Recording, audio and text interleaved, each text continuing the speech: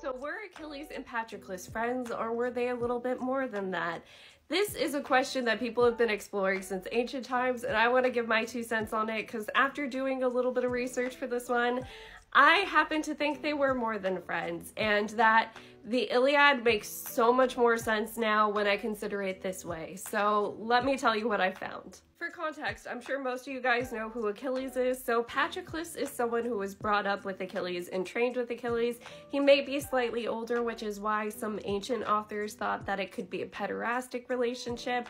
I happen to think they're on much more equal footing, so do with that what you will. But we do know that Patroclus was told by his dad, counsel Achilles while you guys are over there in Troy, because he's gonna listen to you. And Patroclus happens to be a softer, wiser person than Achilles. So we see Achilles yielding to him with a tenderness that he doesn't have for anybody else. It can be easy to write off the way that Achilles affectionately refers to Patroclus while he is alive, or even one thing that he says, which is, you know, God's willing, all of the Trojans can get oofed, all of the Greeks can get oofed, but if it's just me and you losing the sacred diadem of Troy, that would be great. Um, we can write all of that off as regular battle buddy stuff, but once Patroclus passes, it's hard to write it off as they were just friends. They were definitely more than friends. Who cares about the physical part of the relationship? They loved each other. And that grief is really the wrath that the Iliad is referring to in that first word, Menin. Once Patroclus passes, Achilles can't eat, he can't sleep. When he takes out Hector, he even refuses to bathe until he knows that they're going to throw Patroclus's funeral. He wants their ashes mixed together once Achilles passes himself. It's just getting deeper and deeper the more you look into how distraught this man was over his friend's death.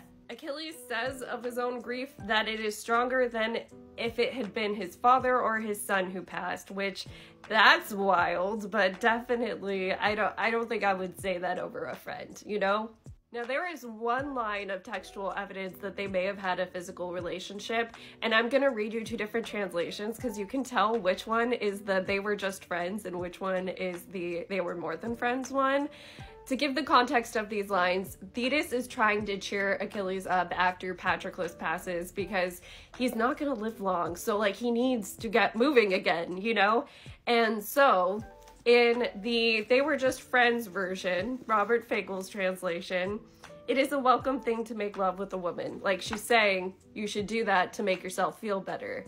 Um, but the way she says it in the translation that's a little truer to the Greek is it is a good thing even to lie in love with a woman.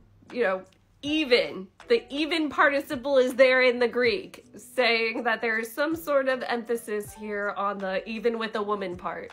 To bring this back full circle to what I said at the beginning, that the Iliad makes so much more sense to me now, is that it's not that I didn't have my professors say, hey, Achilles was extremely angry and distraught over the death of Patroclus.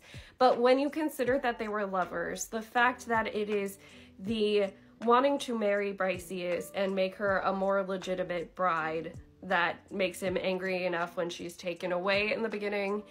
But the anger over losing his other lover, too is the second part of that wrath, and it, it is maybe even the stronger wrath. So then the closing of the Iliad with Priam negotiating back the body of Hector is finally the soothing of the wrath. And it makes sense why the Iliad starts when it does and it ends when it does to me now.